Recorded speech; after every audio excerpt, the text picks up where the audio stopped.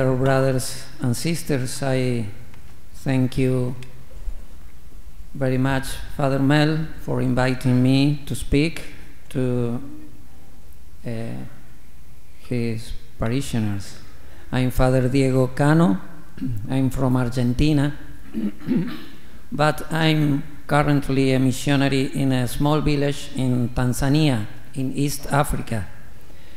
I have been a missionary in Tanzania for 12 years. I'm a religio- religious of the Institute of the Incarnate Word, the same congregation as the daughters of Nick Clemens. He's there with the camera.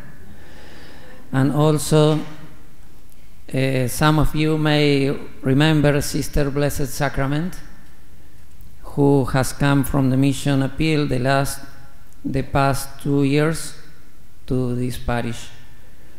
We are together with the sisters in the same mission, and I'm the parish priest and the superior of the mission. I want to tell you a little about our mission. Our mission is a place far from the city, two hours away on a very bad road. We have 43 villages, 43 little chapels to assist, to visit.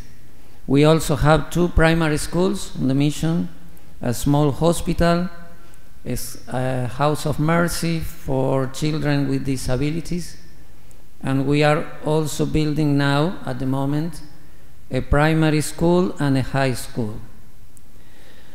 The missionary priest must visit the village in order to carry out the sacrament, especially the confession and the Eucharist.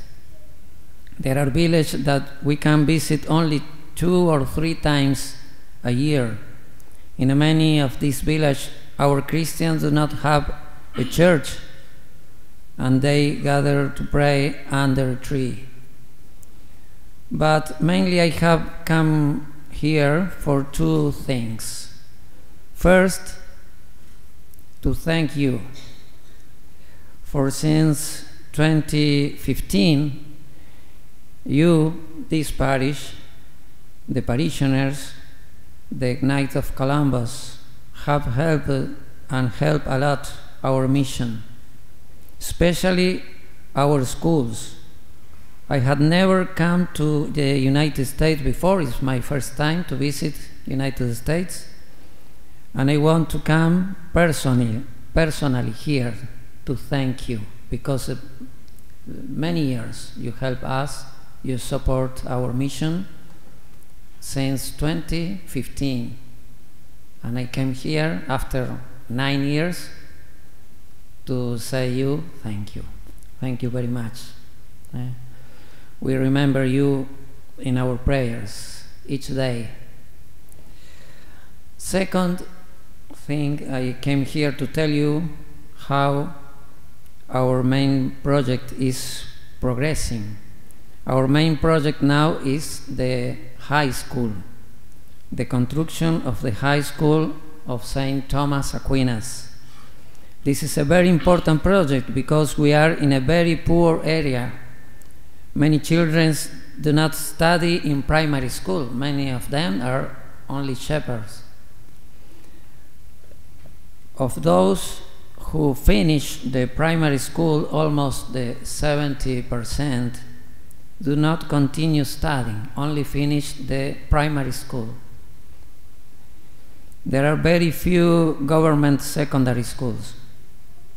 It's very important that we can build this school to give many young people the possibility to study, to continue studying in the high school and they can have a Catholic education, a good formation, because in the government secondaries that not a good formation. We are still working and we hope to have everything ready to start the, this high school, uh, St. Thomas Aquinas High School, in 2026, in January 2026. I appreciate very much what you do for the missionaries and the missions. Thank you for your prayers and your donations. Thank you for helping us. Uh, and I say that we pray every day for our donors.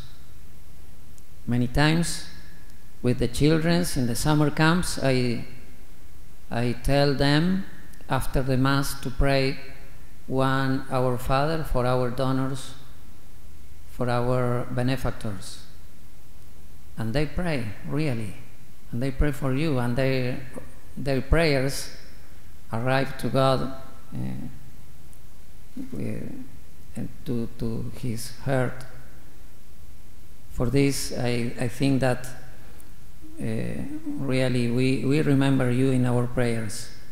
Thank you for helping us. May the Virgin Mary bless and protect you all. God bless you.